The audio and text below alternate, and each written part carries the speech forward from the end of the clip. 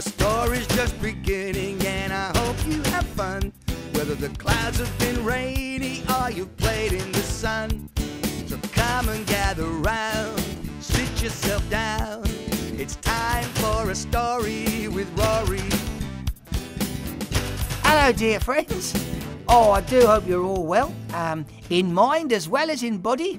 Uh, but if you're not feeling so good this week, I'm going to send you some positive feelings, some positive energy, uh, so you'll feel better through the internet. So, um, so here we go.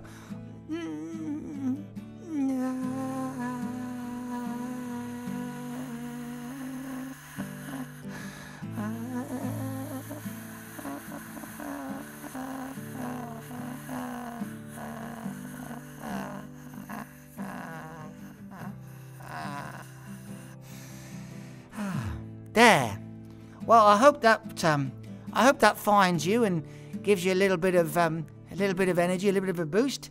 Um, it's important that we all have a laugh, and you know we don't take things too seriously. Uh, which reminds me of something funny that happened this week. I came in late one night. I've been out having a few drinks with somebody, and I'll tell you all about that later. But I came in late, and uh, Mr. Flem, my, my landlord, he was in a right titter. I said, um, I said, what's wrong, Mr. Flem? He said, Rory, he said, I'm, uh, I don't know what to do. Uh, my wife's gone to bed and uh, she's fast asleep. I said, Well, that's, that's good. Yeah, but she hasn't taken her sleeping pills. I don't know whether I should wake her up. I'm like, No, no, just let her sleep, let her sleep, you know. and I went up to my room and I. I couldn't stop laughing. I thought, "Oh, you silly bugger," you know. But um, yeah, that so that made me uh, made me smile. Uh, something that didn't make me smile uh, which I'm taking quite seriously, is I had a, a, phone call from Larry, my agent, last week, and he said um, I'd gone up for an audition. Um, I went to see a casting director, and uh, I don't think I did very well. But anyway, Larry said this casting director thought um, I had a silly voice, you know, a, a, ridiculous voice, and I shouldn't be I shouldn't be an actor with a voice like this. Um, I, I, think he's being very very rude, if you ask me. But uh, anyway, Larry has suggested that I have um, voice lessons, elo- elocutional lessons, and he's got me um, he's got me an appointment to see this lady called Doreen Breeze who apparently can hypnotize you and, and give you vocal lessons at the same time. oh, well, we'll see. We'll see how that goes. Anyway, so that starts. Um, it starts starts tomorrow. Actually, I've got my first appointment with Doreen Breeze tomorrow. So we'll see how see how that goes. Um, now, what else happened this week? Whoa! Oh yeah, I nearly came a right cropper. I um I thought it might be nice to take Lucy horse riding because she's always talked about riding. She I think she's a good rider actually, and she's always been talking about horses and ponies and stuff. So I made a I made a, an appointment with a stables just outside of town. We caught a train together. I didn't tell her where we were going, and um, I thought not not romantic like, but you know it might be just a bit of fun for a couple of friends. And we went horse riding and um, they picked us up at the, at the at the train station in a little van and took us back out to the to the to the farm, and we went off on a, on a couple of horses. Now, my horse. Now you've got to remember this. My horse is called Patience. Patience of all names. Anyway, a steam train came through the town. Uh, well, not through the town. There was a there's a train track, you know. It, came, it was going along the train track, not just running through the town. And it went ooh ooh, you know. And my horse bolted for some reason. Now, I'm not an experienced rider. I'm, I'm not, you know, I've been on a horse a couple of times, but this thing started to run really fast and I didn't know what to do. I thought maybe the best thing to do is jump off. So I took my feet out of the stirrups and I was about to throw myself off um, when I realised I was going too fast, and so I was just kind of hanging on for dear life. But I slipped because I had no feet in the stirrups. I just sort of slid round and I ended up upside down around the horse's neck with my feet around his neck, hanging on for dear life. Now, Lucy's galloped up alongside me and she's shouting, Rory, Rory, what are you doing? I was like, Well, what do you think I'm doing? I'm trying to save my life. I'm hanging on for dear life here, you know? Um, and oh my goodness, I was petrified. But eventually the horse did slow down and came to a standstill, and I was able to sort of drop down uh, without getting hurt. So, no broken bones, everything was cool. I'll, I'll, I'll live another day. Uh, and as they say, you know, when you fall off a horse, get back on. So I did. I got back on, and we walked very slowly back to the um, to the farm. But um, patience, I don't know what happened to patience. But um, that was that was interesting. Oh, I think it was interesting. Galloping along. you should have filmed it, you know, that would be funny.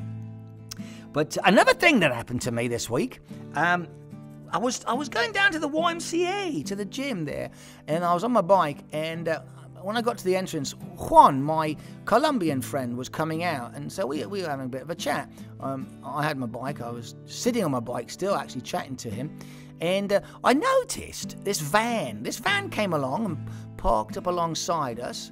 Uh, and I just saw it. It was just sitting, you know, it was just parked for a few seconds and it drove off. And uh, Juan and I are chatting away, you know, and then the van turned up again. And, and this little old man jumped out.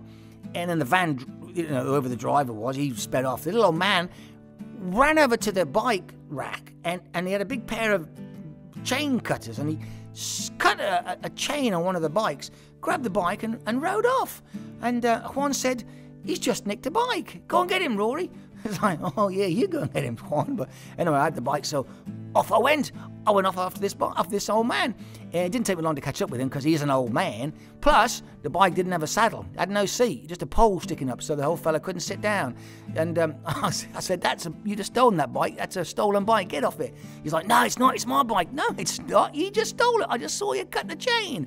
You know. So he's like, "Off you, off, But he um, he wandered off, and uh, I took the bike back to the to the YMCA, and the fella that owned the bike um, took me out for a beer. Yeah, that was that was the night I got back late and found Mr. Flem in a bit of a bit of a state. But uh, so that that's happened this week. That was that was rather interesting. And we began filming on the horror movie where I get to play some sort of creepy caveman. But we only did one day's filming, so I, I'm not going to tell you too much about that. In fact, we've got four or five days next week, so I'll tell you all about that next next week. So I think it's now time for um, poetry. It's poetry time! Now here's a here's a poem called You Can Stand Alone. I met a girl who told me how she nearly lost her mind. She thought the boy that she loved was being true. She penned his name upon her flesh and she proudly showed the world because when you're young and in love, that's what you do. But he walked away and he didn't stop and he never looked back.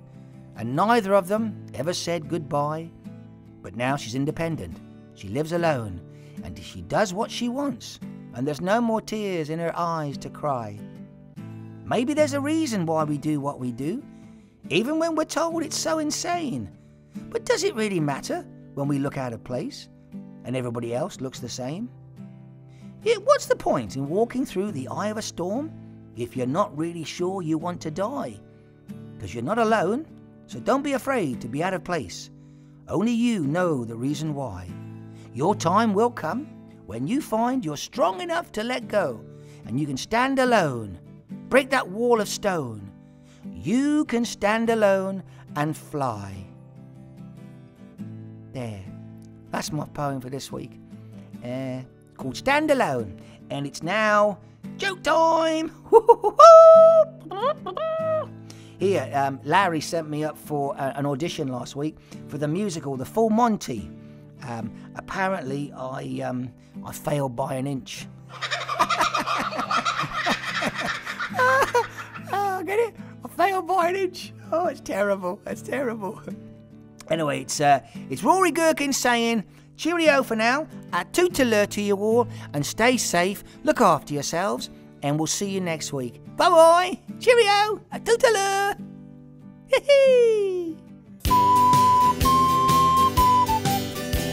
It's time to say goodbye, but there's no reason why. Well, we can get together once again. I hope you've had some fun hearing all the things I've done. So let's all get together once again.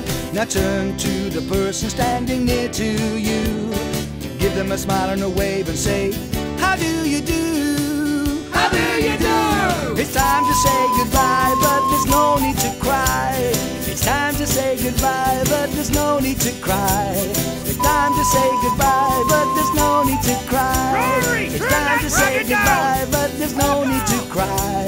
It's time to say goodbye, but there's no need